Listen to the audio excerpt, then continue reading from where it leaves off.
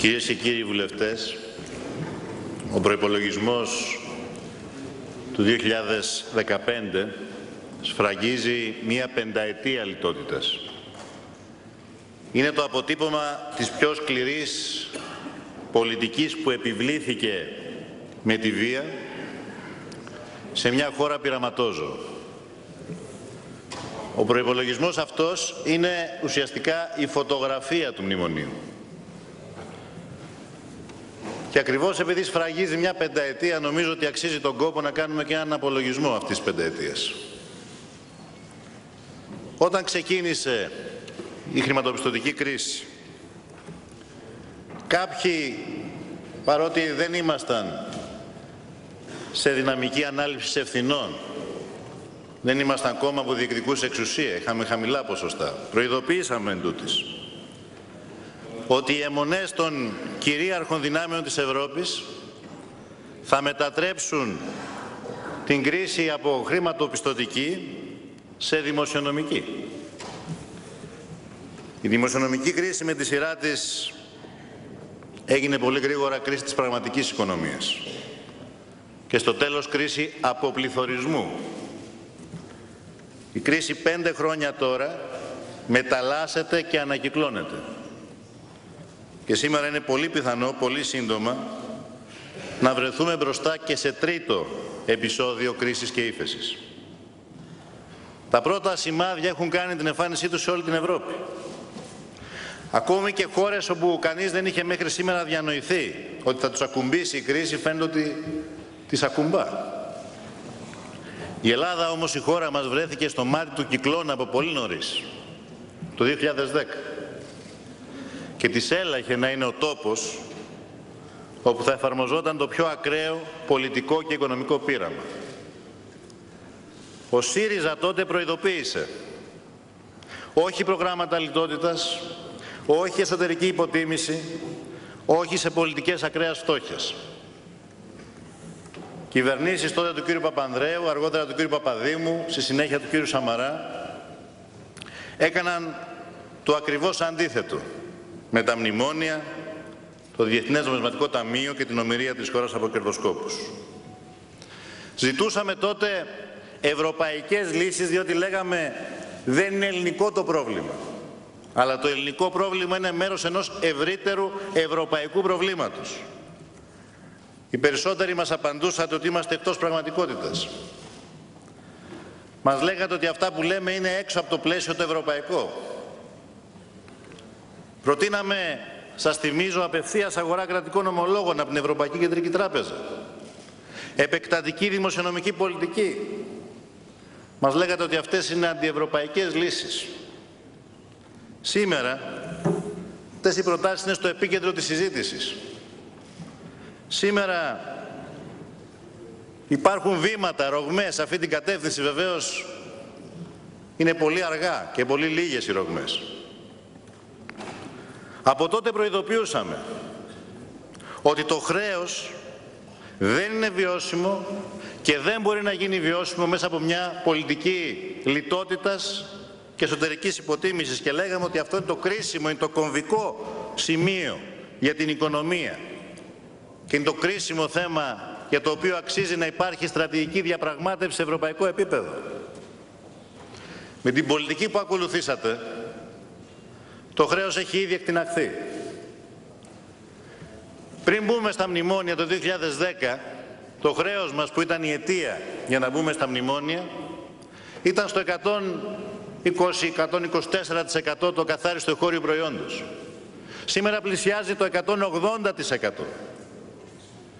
Και μάλιστα στις νέες συνθήκες, στον κίνδυνο της παγίδας του αποπληθωρισμού, Ακόμα κι αν διαρκώς, όπως προβλέπει το πρόγραμμα, έχουμε πλεόνασμα 3%, αυτό το 3% δεν είναι το ίδιο σε συνθήκες αποπληθωρισμού.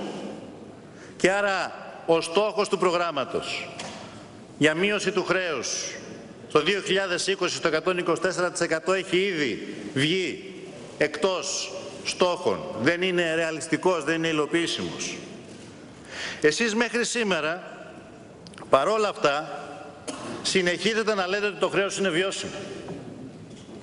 Και μόνο εσείς το λέτε πια. Μόνο εσείς το λέτε πια σε όλη την Ευρώπη.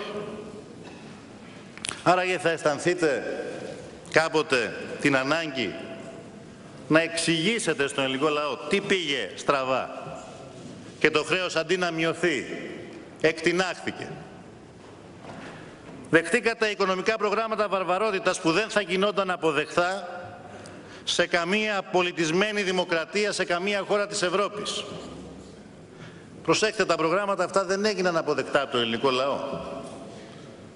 Ο ελληνικός λαός εξεγέρθηκε στην προοπτική αυτή.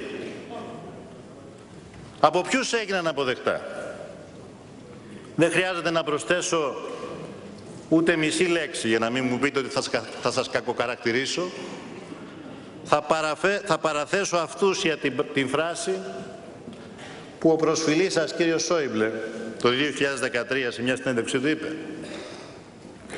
από μια ανεύθυνη πολιτική ελίτ που θυσίασε την ελληνική οικονομία για τα δικά της βραχυπρόθεσμα συμφέροντα και για τα συμφέροντα συγκεκριμένων ομάδων. Βέβαια, κύριο Σόιμπλε και οι δανειστές μας, με αυτήν ακριβώς την πολιτική ελίτ επέλεξαν να συμμαχίσουν προκειμένου να προωθήσουν τους δικούς τους στόχους, τις δικές τους επιδιώξεις. Και να δούμε λοιπόν τώρα τα αποτελέσματα. Τι αφήνετε πίσω σας; Τι έγινε αυτά τα πέντε χρόνια στον τόπο μας; Δυόμιση εκατομμύρια πολίτες βρέθηκαν κάτω από το όριο της φτώχειας. Και η φτώχεια δεν αφορά μόνο στο εισόδημα. Έχουμε ενεργειακή φτώχεια, έχουμε υγειονομική φτώχεια, έχουμε τη στέρηση από αγαθά και υπηρεσίες, έχουμε τον κοινωνικό αποκλεισμό, έχουμε την διακοπή πρόσβασης στην εκπαίδευση και την ιατροφαρμακευτική περίθαλψη για μεγάλο μέρος του πληθυσμού, έχουμε 800.000 πολίτες που διαβιούν σε νοικοκυριά όπου κανείς πια δεν εργάζεται. Έχουμε 1,5 εκατομμύριο ανέργους. Στη χώρα μας παίχτηκε το μεγαλύτερο κόλπο αναδιανομής του πλούτου. Γιατί ξέρετε η κρίση είναι πάντοτε ευκαιρία για κάποιους λίγους και εκλεκτούς. Αυτός είναι ο ένας και μοναδικός απολογισμός που είναι όμως αναγκαίο να γίνει τώρα που κλείνει αυτός ο κύκλος. Κυρίε και κύριοι βουλευτές, αυτός ο προϋπολογισμός είναι ταυτόχρονα όμως και η θλιβερή εικόνα μιας κυβέρνησης παραδομένης είναι κομμένος και ραμμένος πάνω στο μεσοπρόθεσμο πρόγραμμα που δεν βγαίνει. Είναι κομμένος και ραμμένος σε ένα πρόγραμμα που είναι δεδομένο ότι χρειάζεται αναθεώρηση, αλλά και ο ίδιος ο προϋπολογισμός είναι δεδομένο ότι σύντομα θα αναθεωρηθεί. Το ερώτημα είναι θα αναθεωρηθεί από την καταραίουσα κυβέρνησή σας; Ενδεχομένως και ελάχιστες μέρες μετά την ψήφισή του; Ή θα αναθεωρηθεί από μια νέα κυβέρνηση, την κυβέρνηση του ΣΥΡΙΖΑ; Θα αναθεωρηθεί για την μετατροπή της χώρας σε απικία χωρίς υποδομές, δημόσιο πλούτο και δικαιώματα ή θα αναθεωρηθεί; Προς όφελος της ανόρθωσης, της ανάκαμψης, της παραγωγικής ανασυγκρότησης της χώρας. Κόντρα στην προπαγάνδα και στα χαλκία του Μεγάλου Μαξίμου. Υπάρχουν τα πραγματικά διλήμματα πραγματικά για την κοινωνία και την οικονομία. Από τη μια μεριά είναι το μνημόνιο αορίστου χρόνου και από την άλλη είναι ένα αναγκαίο πρόγραμμα ανάτασης, ανόρθωσης, ανασυγκρότησης, αντιμετώπισης των μεγάλων πληγών του μνημονίου όπως αυτό που εξαγγείλαμε εμείς στη Θεσσαλονίκη τον περασμένο Σεπτέμβριο. Κυρίες και κύριοι βουλευτές, αν ο βίος της κυβέρνησης παραταθεί, είναι δεδομένο ότι έρχεται η πιο σκληρή πολιτική, ακόμα πιο σκληρή από αυτή που είδαμε μέχρι σήμερα, έρχεται η ισοπαίδωση. Στο ασφαλιστικό, με συνολική απόσταση του κράτους, στα εργασιακά, με lockout και απελευθέρωση απολύσεων, έρχεται εκποίηση όσης δημόσιας περιουσίας έχει απομείνει με όρους σαν αυτούς που είδαμε πρόσφατα και στην περίπτωση του ελληνικού και αλλού έρχονται νέα προαπαιτούμενα αυτά τα ακλόνητα προαπαιτούμενα που είναι κλειδωμένα όποια και αν είναι η επιλογή και η πορεία των λεγόμενων διαπραγματεύσεων είτε με ΔΝΤ είτε χωρίς ΔΝΤ είτε με προληπτική γραμμή στήριξης είτε χωρίς αυτήν εσείς τη σκληρή λιτότητα θα τη συνεχίσετε. Έχετε συμφωνήσει να τα εφαρμόσετε αυτά τα μέτρα. Τα γράφετε άλλωστε στα emails που στέλνετε κύριε Υπουργέ των Οικονομικών, στα κρυφά. Σε αυτά ζητάτε στήριξη. Αυτά σας ενδιαφέρει να περάσουν. Αυτός είναι ο πυρήνας της πολιτικής σας. Και σε αυτά τα μέτρα θα έρθετε σε λίγες μέρες να ζητήσετε λευκή επιταγή μέσω της προεδρικής εκλογής. Και ζητάτε να σας στηρίξουν στην ιδέα ότι το χρέος είναι βιώσιμο και ότι η οικονομία πάει καλά και ότι το πρόγραμμα πέτυχε. Κάνατε το λίστημα αυτό και Σαμαρά στη συζήτηση εδώ για, το, για την ψήφο εμπιστοσύνης. Άκουσα τον αντιπρόεδρο της κυβέρνησης θα το επαναλαμβάνει σήμερα. Το χρέος είναι βιώσιμο. Κατά την εκτίμησή μας πρόκειται για μια πολιτική η οποία, για να χρησιμοποιήσω μια φράση του Αλιράντου, είναι κάτι περισσότερο από έγκλημα, είναι λάθος. Εσείς λοιπόν εγγυάστε την εφαρμογή προαπαιτουμένων και διατείνεστε το χρέος είναι βιώσιμο. Διερωτάτε λοιπόν ο πολίτης Αφού το χρέος είναι βιώσιμο, τι ακριβώς διαπραγματεύεστε; Η δική μας εκτίμηση είναι ότι δεν διαπραγματεύεστε τίποτα.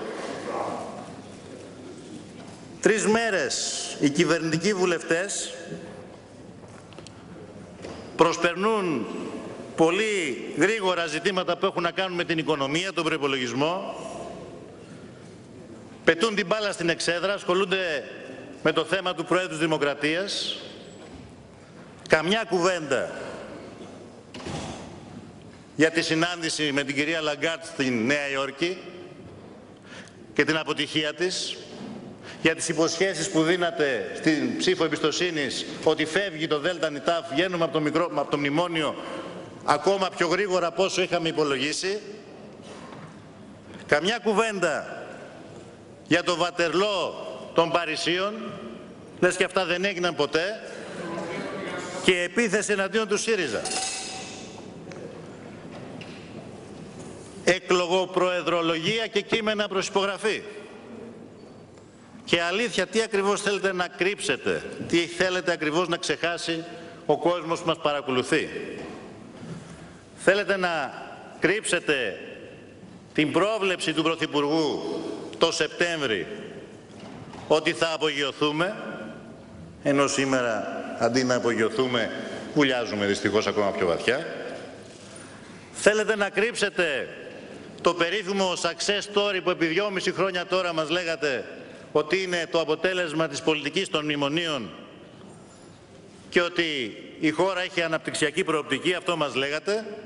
Θέλετε να κρύψετε όλα όσα μας λέγατε για το ΔΝΤ που φεύγει και για το φως το οποίο βγαίνουμε ενώ πριν από μια εβδομάδα αναγκαστήκατε να μας πείτε ότι παραμένουμε στο πιο βαθύ σκοτάδι. Όσα όμως και αν προσπαθείτε να κρύψετε, δεν μπορείτε να αποφύγετε την αλήθεια. Και η αλήθεια είναι ότι η χώρα δεν μπορεί να βγει από την κρίση. Όταν έχει ένα χρέος που πλησιάζει το διπλάσιο του ακαθάριστου εγχώριου προϊόντος της, και μέσα στα τελευταία έξι χρόνια έχει χάσει το 1 τέταρτο του ακαθάριστου εγχώριου προϊόντος της πράγμα πρωτοφανές για μια χώρα σε καιρό ειρήνης. Δεν μπορείτε να κρύψετε ότι μια χώρα χωρίς σταθερή κυβέρνηση, διότι δεν έχετε σταθερή κυβέρνηση, χωρίς βιώσιμο χρέος και χωρίς πλάνο ανάπτυξης, θα είναι μια χώρα η οποία θα έχει εχθρική αντιμετώπιση από τις αγορές. Και άκουσα πριν ότι για όλα αυτά φταίει ο ΣΥΡΙΖΑ. Φταίει η αντιπολίτευση για την εχθρική στάση των αγορών. Λες και η αντιπολίτευση κυβερνά και αποφασίζει. Φταίει η αντιπολίτευση για το ότι είχατε σχεδιάσει την έξοδο δήθεν από το Μνημόνιο και από το Διεθνές Νομισματικό Ταμείο για το ότι παρουσιάζατε μια υποτιθέμενη ιστορία επιτυχίας φουσκώνοντας ένα μπαλόνι που κάποια στιγμή όμως και βρισκόμαστε όλοι μπροστά με την πραγματικότητα. Και η πραγματικότητα είναι ότι συνεχίζοντας αυτή την πολιτική που δεν γεννά μόνο ανισότητες κοινωνικές και κοινωνική λαιλασία, αλλά είναι μια πολιτική που γεννάει ύφεση, που διευρύνει το ίδιο πρόβλημα στο οποίο βρισκόμαστε στην σπήρα που μας οδηγεί με μαθηματική ακρίβεια στην ανακύκλωση του ίδιου προβλήματος με αυτή την πολιτική δεν μπορούμε να βγούμε από την κρίση. Αυτό είναι το ζήτημα. Και κύριε Πρωθυπουργέ, επειδή απαντάτε σε όλα εκτός από τα κρίσιμα ερωτήματα, εγώ θέλω να σας ρωτήσω σήμερα να απαντήσετε στην ομιλία σας. Πιστεύετε ότι αυτό που νοιάζει τους συμπολίτες μας που θα βγουν σε λίγο στη σύνταξη όσους έχουν βαρέα και ανθυγιεινά τις μητέρες με ανήλικα αυτό που τους νοιάζει είναι αν θα τους κόψετε τα συντάξιμα χρόνια και θα τους μειώσετε τη σύνταξη με πιστοτική γραμμή ή με μνημόνιο; Αυτό, αυτό που νοιάζει στους συνταξιούχους που ετοιμάζεστε γιατί έχετε συμφωνήσει να καταργήσετε το ΕΚΑΣ ή να θα το καταργήσετε με πιστοτική γραμμή ή με μνημόνιο; Αυτό που νοιάζει τους συμπολίτες μας στα νησιά είναι αν θα μειώσετε, αν θα καταργήσετε την έκπτωση φόρου στο ΦΠΑ με παράταση ενός μήνα ή έξι μηνών του μνημονίου, αυτό είναι που τους νοιάζει. Ή ότι όλα αυτά θα υλοποιηθούν, διότι έχετε ήδη δεσμευτεί να τα υλοποιήσετε. Ο κόσμος νοιάζεται για αυτά που κάνετε και για αυτά που ετοιμάζεστε να κάνετε. Δεν τον απασχολεί το παιχνίδι με τις λέξεις. Τον νοιάζει το παιχνίδι που κάνετε με τις ζωές του. Διαρκώς λέτε δεν υπάρχει εναλλακτική. Από τον περασμένο Σεπτέμβρη και από την εξαγγελία του προγράμματος του ΣΥΡΙΖΑ που κατά την εκτίμησή μας ήταν σημείο καμπής για την πολιτική ζωή του τόπου. Γιατί; Γιατί παρουσιάσαμε ένα σχέδιο ρεαλιστικό και υλοποιήσιμο, κοστολογημένο, όχι αυτά που θέλουμε να γίνουν, αυτά που μπορούμε να κάνουμε σε συνθήκες δημοσιονομικής εξισορρόπησης. Δεν διεκδικούμε νέα ελλείμματα, δεν θέλουμε νέα δάνεια, χρειάζεται η χώρα σκληρή διαπραγμάτευση, μόνο μια κυβέρνηση με ισχυρή εντολή διαπραγμάτευσης μπορεί αυτό να το πετύχει. Και μέχρι τότε όμως χρειάζεται να αντιμετωπίσουμε τις πληγές που έχουν δημιουργηθεί. Να αναστρέψουμε την πολιτική της λιτότητας και τις επιπτώσεις που γεννά που είναι επιπτώσεις ανθρωπιστικής κρίσης και να επανακινήσουμε την πραγματική οικονομία. Αφού το λιδωρήσατε αυτό το πρόγραμμα, κινητοποιώντας κυβερνητικούς μηχανισμούς, στη συνέχεια αναγκαστήκατε κι εσείς να συρθείτε πίσω από την ίδια ατζέντα. Πόσα πρωτοσέλιδα δημοσιεύματα είδαμε από φύλλα προσκύμενες εφημερίδες εσάς για τις 100 δόσεις που έρχονται, για τις ρυθμίσεις των κόκκινων δανείων. Όμως και αυτά που φέρατε δεν αφορούν παρά ελάχιστους οφειλέτες και σε ό,τι αφορά τα κόκκινα δάνεια έχουν μια τραπεζοκεντρική λογική. Βάζουν τις τράπεζες να επιτηρούν την πραγματική οικονομία, διότι αυτή είναι η λογική σας. Στήριξη των τραπεζών και των μεγαλοεπιχειρηματιών σε βάρος της κοινωνικής πλειοψηφίας. Και βεβαίως μετατροπή της εργασίας και των σχέσεων των εργασιακών σε ζούγκλα, απελευθέρωση μαζικών απολύσεων, μείωση μισθών στον δημόσιο τομέα, κατάργηση του δικαιώματος στην απεργία, στον εργατικό συνδικαλισμό και αυτά σας θυμίζω ότι δεν είναι έξω από τη λογική σας. Αυτά είναι στο σκληρό πυρήνα των ιδεών σας. Και σας παραπέμπω στο άρθρο που δημοσιεύσατε κύριε Σαμαρά στην Καθημερινή πριν από δύο Κυριακές αν δεν κάνω λάθος όπου επιλέξει λέγατε ότι αυτές είναι αλλαγές που ακόμα και αν δεν υπήρχαν μνημόνια έπρεπε εδώ και 30 χρόνια να είχαμε κάνει. Να λοιπόν η αντιφάση σας. Και εν πάση περιπτώσει ποιο είναι το δημοσιονομικό όφελος από όλα αυτά; Απολύτως κανένα. Ο δρόμος για την ανάπτυξη δεν μπορεί να είναι και δεν είναι η λαιλασία των μισθών και των συντάξεων. Το αντίθετο. Είναι η προστασία και η κατοχήρωση των εργασιακών δικαιωμάτων. Και βεβαίως για μας η κατάργηση της πρόσφατης αντεργατικής νομοθεσίας. Για τον ΣΥΡΙΖΑ η εργασία είναι ο πυρήνας, το κέντρο των αναλύσεων και της πολιτικής μας. Γιατί για εμάς οι εργαζόμενοι θα φέρουν την ανάπτυξη και όχι η αποχαλήνωση των εργοδοτών. Δεν θα γίνουμε ειδική οικονομική ζώνη της Ευρώπης επειδή το ζητούν συγκεκριμένα επιχειρηματικά συμφέροντα που αυτή η πολιτική εξυπηρετεί. Κυρίες και συνάδελφοι, ο λαός μας το έχει εμπεδώσει πια και νομίζω ότι πρέπει να το εμπεδώσετε κι εσείς. Το μνημόνιο δεν είναι κάτι από το οποίο κανείς μπορεί να μπαινοβγαίνει. Όποιος το υπηρετήσει δεν βρίσκει εύκολα την πόρτα της εξόδου. Το μνημόνιο είναι καθεστώς, είναι το πλαίσιο νόμων που ρυθμίζουν το σύνολο της οικονομικής δραστηριότητας από την αγορά εργασίας μέχρι την κατάρτιση του προϋπολογισμού και αυτό το καθεστώς του μνημονίου το φέρατε για να μείνει. Η έξοδος απαιτεί ξύλωμα των μέτρων του καθεστώτος που διαμορφώνουν. Όχι μηνιαία ή εξάμηνη παράταση και νέα επιτήρηση.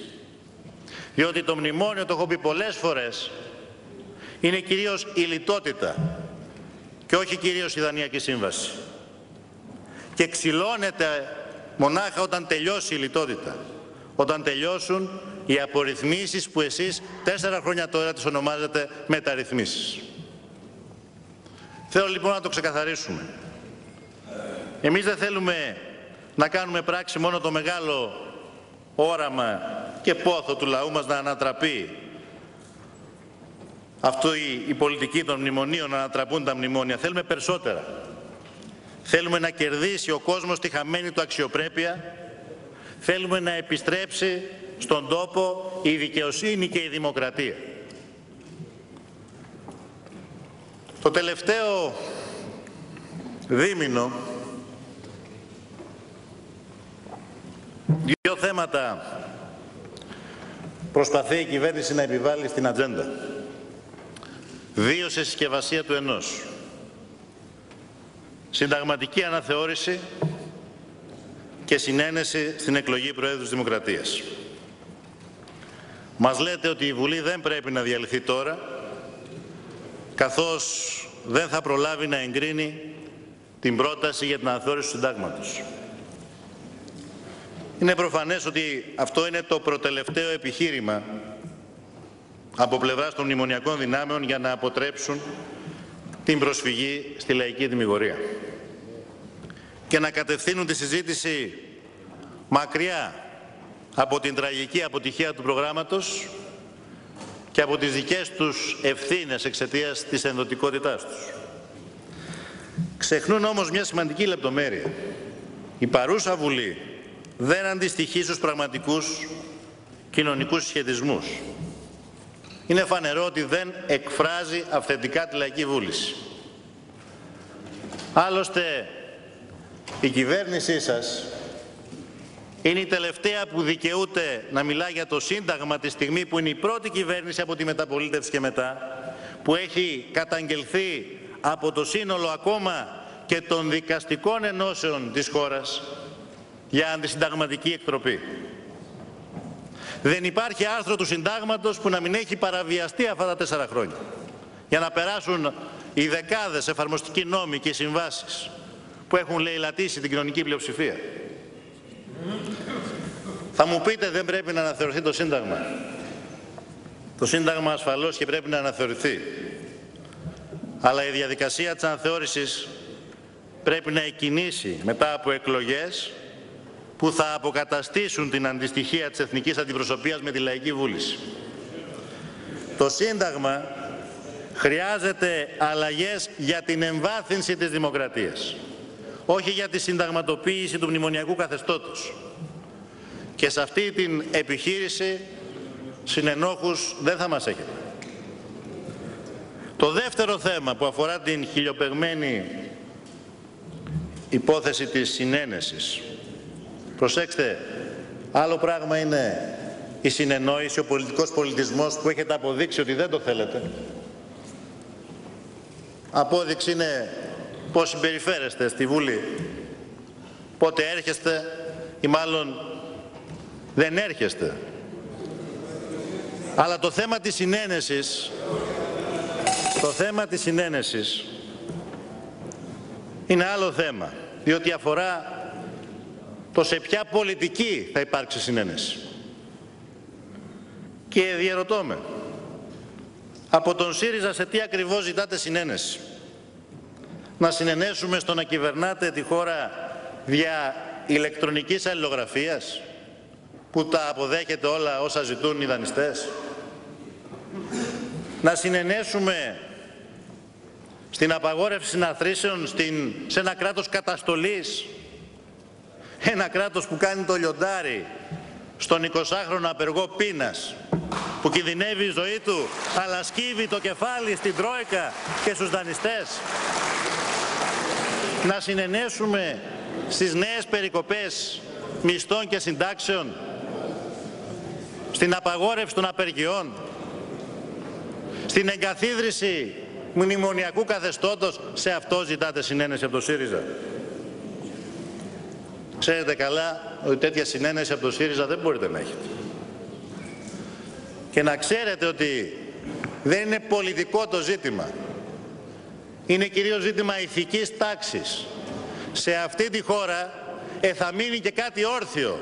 Δεν θα τα ισοπεδώσετε όλα. Η σχέση πολίτη-κράτους, πολίτη και πολιτικού συστήματος θα αποκατασταθεί. Εμείς δεν πρόκειται να συνενέσουμε σε νέα μέτρα, το έχουμε δηλώσει, ούτε πρόκειται να βάλουμε υπογραφές σε σχέδια εξαθλίωσης του λαού μας. Γνωρίζω καλά όμως ότι η πραγματική σας έγνοια σήμερα δεν είναι στον προϋπολογισμό, στην αποτυχία του προγράμματος, είναι στην ψηφοφορία για τον νέο πρόεδρο της Δημοκρατίας που με βάση τα όσα προβλέπει το Σύνταγμα πρέπει να γίνει στις αρχές του 2015, δηλαδή σε λίγες εβδομάδες. Το βασικό σας θέμα και το βασικό σας πρόβλημα είναι ότι ο πολιτικός σας χρόνος τελειώνει. Στη συζήτηση για την παροχή ψήφου εμπιστοσύνης σας είχα ζητήσει να μην στείλετε τη χώρα σε μια παρατεταμένη και πολλωμένη προεκλογική περίοδο. Να μην οδηγήσετε την πολιτική ζωή του τόπου στον πιο ακραίο εξευτελισμό. Δεν μας ακούσατε. Και όχι μόνο δεν μας ακούσατε, αλλά από ό,τι φαίνεται όλος σας ο σχεδιασμός είναι πώς θα καταφέρετε να σχηματίσετε μια πλειοψηφία που με βάση την πολιτική λογική δεν προκύπτει από πουθενά. Γιατί ακόμα και αν όλοι οι ανεξάρτητοι βουλευτές άλλαζαν γνώμη και αποφάσισαν όλοι στο σύνολό τους να ψηφίσουν τον νέο πρόεδρο της Δημοκρατίας που εσείς θα προτείνετε και πάλι δεν βγαίνουν τα κουκιά. Ασχέτως εάν επιτίθεστε εσείς μονίμως στο ΣΥΡΙΖΑ, θέλω να σας θυμίσω ότι όλα τα κόμματα της δημοκρατικής αντιπολίτευσης έχουν και πολλά από αυτά με αποφάσεις συνεδριακές, έχουν καταλήξει συλλογικά, έχουν καταλήξει στη συλλογική τους θέση ότι αυτή η Βουλή είναι απονομιμοποιημένη και δεν πρέπει να εκλέξει πρόεδρος της Δημοκρατίας. Συνεπώς, τι ακριβώς ισχυρίζεστε τόσους μήνες όταν λέτε έχουμε τους 180, όταν λέτε έχουμε μαξιλαράκι. Ισχυρίζεστε ότι έχετε κάποιους βουλευτές άλλων κομμάτων; Με τους οποίους έχετε συνεννοηθεί ώστε την κατάλληλη στιγμή να διαφωνήσουν με τη συλλογική γραμμή των κομμάτων τους αλλά δεν το φανερώνουν ακόμα. Αυτό ισχυρίζεστε. Αυτό λέτε. Σας πειράζει μόνο να ακούτε τη λέξη αποστασία. Ίσως γιατί σας ξυπνάει οι μνήμες άλλων εποχών, τις οποίες είχατε πρωταγωνιστήσει. Θα μου πει όμως κάποιος, μα είναι αποστασία, είναι δυνατόν να χρησιμοποιείτε τόσο βαριές εκφράσεις. Όταν ένας βουλευτής, βρε αδελφέ, έχει το δικαίωμα να έχει άλλη άποψη από αυτή που έχει το κόμμα του μέσα από τις συλλογικές του διαργασίες και επεξεργασίες. Βεβαίως και μπορεί. Αλλά αν έχει άλλη άποψη, να βγει και να το πει και να καθαρίσει τη θέση του. Καθαρά, ντόμπρα και παστρικά. Και να το πει τώρα. Να το πει σήμερα. Που όλοι μας θα ψηφίσουμε αν αποδεχόμαστε ή όχι Παρακαλώ, να δώσουμε κύριε παράταση συνάδελφε. ζωής Παρακαλώ. στην κυβέρνηση ψηφίζοντας τον προϋπολογισμό. Και σας ρωτάω ευθέως, με ποια λογική ένας βουλευτής που θα ζητήσει σήμερα με την ψήφο του να μην εφαρμοστεί αυτός ο προϋπολογισμός θα δώσει τη δυνατότητα στην ίδια κυβέρνηση αυτόν τον προϋπολογισμό να τον εφαρμόσει σε λίγες εβδομάδες από σήμερα υπερψηφίζοντας τον Πρόεδρο της Δημοκρατίας. Όταν καταψηφίζεις έναν προϋπολογισμό, η ψήφος για τον προϋπολογισμό είναι μια κορυφαία πράξη στην κοινωνική διαδικασία. Όταν καταψηφίζεις έναν προϋπολογισμό, ουσιαστικά ζητάς την άμεση παρέτηση της κυβέρνησης. Ισοδυναμεί με ψήφο εμπιστοσύνη στον προϋπολογισμό σου. Μπορείς να ζητάς παρέτηση της κυβέρνησης τον Δεκέμβρη, αλλά παράταση της θητείας της τον Γενάρη και μάλιστα για άλλον 1,5 χρόνο. Ποια επιφύτηση του Αγίου Πνεύματος μπορεί να εξηγήσει μια τόσο σοβαρή μεταστροφή; Όσοι λοιπόν απορρίπτουν σήμερα τον προϋπολογισμό, πρακτικά ζητούν άλλη πολιτική και προφανώς εξ όσων εγώ καταλαβαίνω από άλλη κυβέρνηση και εξ όσων εγώ γνωρίζω στις δημοκρατίες αυτό σημαίνει εκλογές. Άρα το όχι στον προϋπολογισμό σήμερα ισοδυναμεί με όχι στον πρόεδρο της Δημοκρατίας αύριο. Ένα όχι σήμερα που θα γίνει ναι αύριο, καθαρές κουβέντες, δεν δικαιολογείται παρά μόνο ως αποτέλεσμα μεθοδεύσεων. Και ας πάρει ο καθένας και η καθεμιά την ευθύνη του απέναντι στον ελληνικό λαό.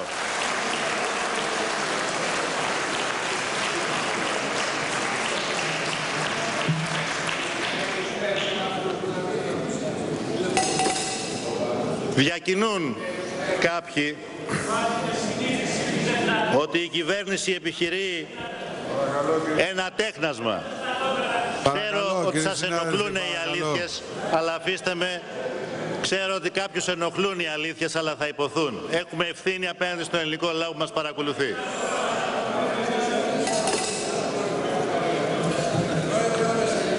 Διακινούν κάποιοι, διακινούν κάποιοι ότι η κυβέρνηση είναι πιθανό να επιχειρήσει ένα τέχνασμα, μια εξαπάτηση. Θα ζητήσει, λένε, μια μικρή παράταση από την Τρόικα και θα επιδιώξει να ψηφιστεί τον Γενάριο ο πρόεδρος της Δημοκρατίας μέσα σε ένα κλίμα πρωτοφανών πιέσεων και εκβιασμών. Εκβιασμών και πιέσεων σε συνεννόηση λένε με θεσμικά και εξωθεσμικά κέντρα μέσα και έξω από τη χώρα κατά τη διάρκεια που μεσολαβεί από την πρώτη ψηφοφορία ως τη δεύτερη και από την δεύτερη ως την τρίτη. Με στόχο να δοθεί το άλοθη σε κάποιους που έχουν πιστεί αλλά είναι ντροπαλοί να το εκδηλώσουν να δικαιολογήσουν την αλλαγή της τάσης τους.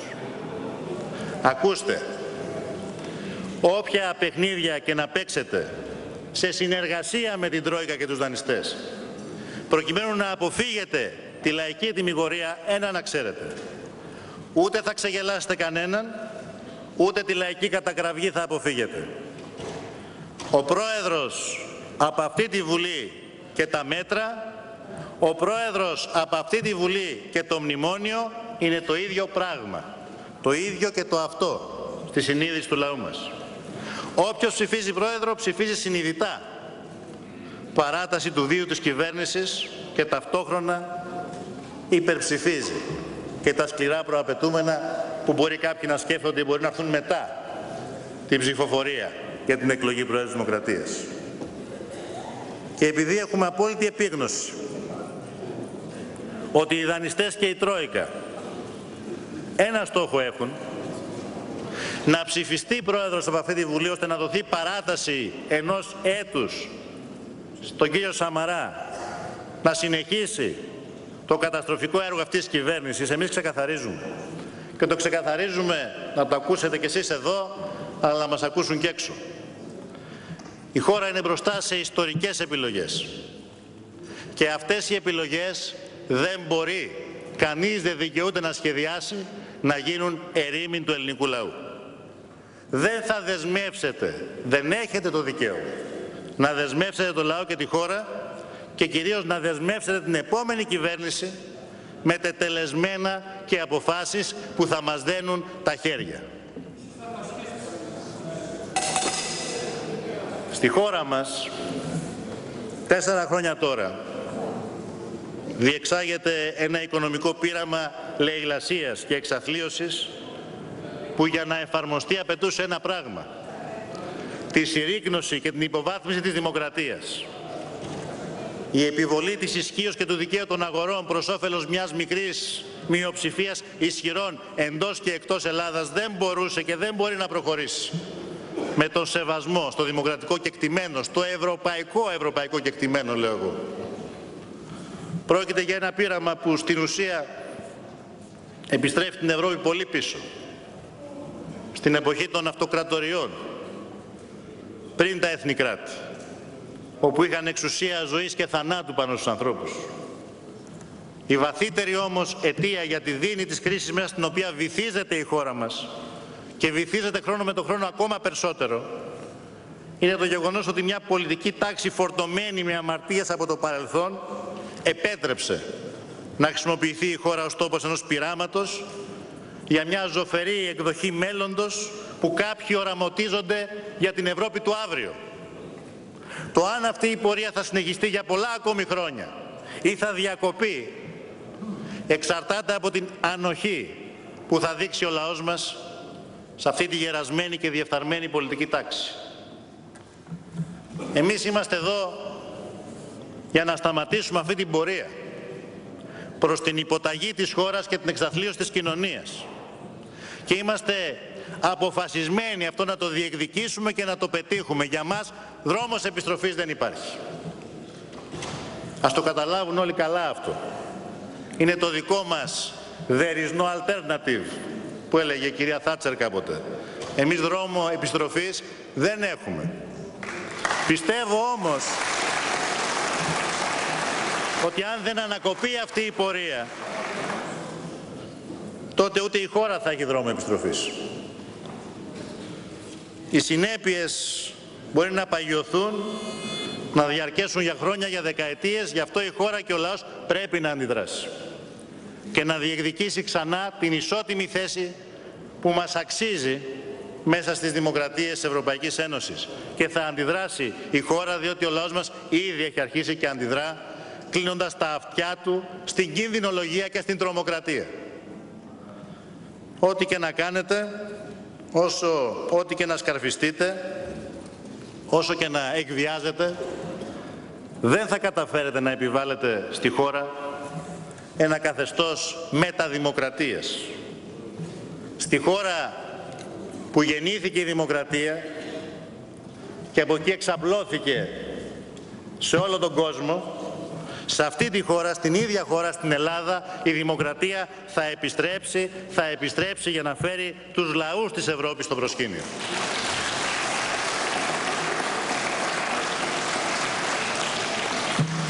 Σας καλώ λοιπόν κυρίες και κύριοι συνάδελφοι της συμπολίτευσης. Σας καλώ να προσφέρετε στη χώρα την τελευταία θετική υπηρεσία που σας απομένει. Εφόσον απόψε δεν λάβετε ψήφο υποστήριξης, ψήφο εμπιστοσύνης για να συνεχίσετε από αντίστοιχο αριθμό βουλευτών με αυτόν που κατελάχιστο απαιτεί το Σύνταγμα για εκλογή Προέδρου της Δημοκρατίας, ελάτε αύριο το πρωί να συμφωνήσουμε την ημερομηνία των εκλογών, δίνοντας τέλος στο πολιτικό, ηθικό και κοινοβουλευτικό αδιέξοδο που οδηγεί το τόπος. Μην επιλέγετε την αποσταθεροποίηση. Επιλέξτε το δημοκρατικό δρόμο, διότι ο δημοκρατικός δρόμος είναι που οδηγεί σε διέξοδο. Όλα τα άλλα είναι αδιέξοδα και έχουν κοντά ποδάρια.